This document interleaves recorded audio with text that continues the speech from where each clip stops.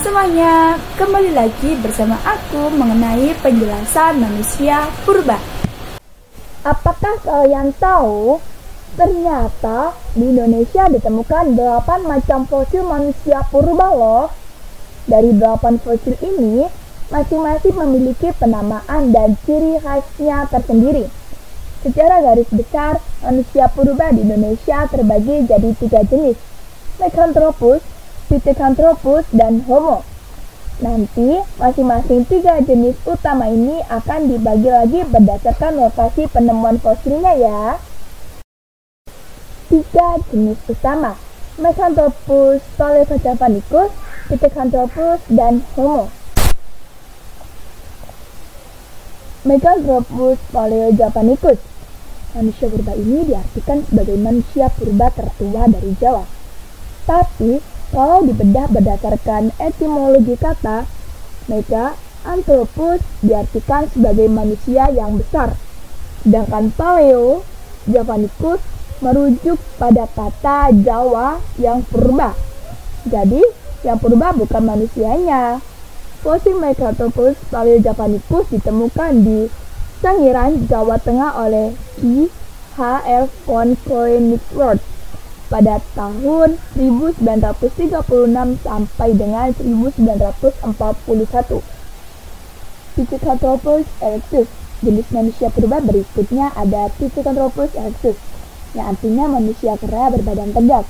Ini diambil dari kata erectus yang artinya tegak. Kalau yang ini ditemukan oleh Econ Dobris pada tahun 1891 di desa Trinil dekat Ngawi, Jawa Timur. Selain ditemukan di Trinil, Fosil Pithecanthropus juga ditemukan di beberapa daerah lain seperti di Sangiran, Sambung Macan, Nandong, Perning, dan Mojokerto. Bahkan beberapa fosil yang ditemukan di daerah tertentu punya nama khusus loh, seperti Pithecanthropus mojokertensis dan Pithecanthropus soloensis. Pithecanthropus mojokertensis Pithecanthropus mojokertensis yang artinya manusia kera dari Mojokerto. Ini dari kata Pithecanthropus yang artinya kera, dan anthropus yang artinya manusia. Karena ditemukan di Mojokerto, Jawa Timur, jadi dinamainya Mojokertensis deh. Kalau ini tingginya nggak setinggi Mecanthropus nih, ya katanya bisa di atas 2 meter tingginya. Kalau mereka cuma kisaran 165 sampai 180 meter ya. Dan fosil manusia purba ini juga ditemukan oleh von Königswald ya pada tahun 1936. Kalau menurut para ahli, fosil Pithecanthropus mojokertensis ini diyakini yang paling tua usianya loh.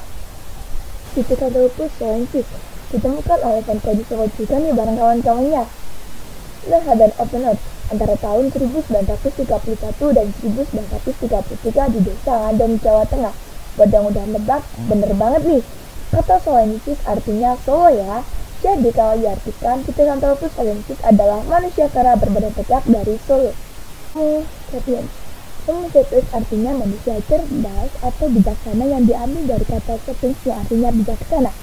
Spesies ini merupakan spesies manusia purba yang semakin mendekati manusia modern. Salah satunya terlihat dari volume otak dan kecerdasan yang semakin mirip dengan kita-kita di masa sekarang. Homo heidelbergensis Subspesies dari Homo sapiens pertama yang akan dibahas ada Homo heidelbergensis yang artinya manusia dari wajah. Fosil Homo heidelbergensis ditemukan di desa Wajak, Jawa Timur oleh Van Richten pada tahun 1889. Tanpa fosil Homo heidelbergensis ini merupakan fosil pertama yang ditemukan di daerah Asia.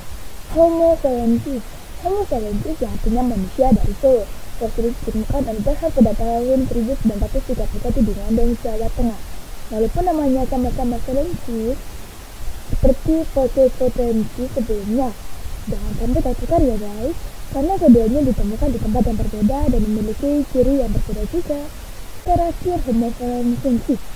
Homo florensis yang artinya manusia dari Flores.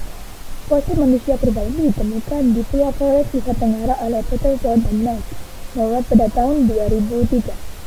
Terima kasih.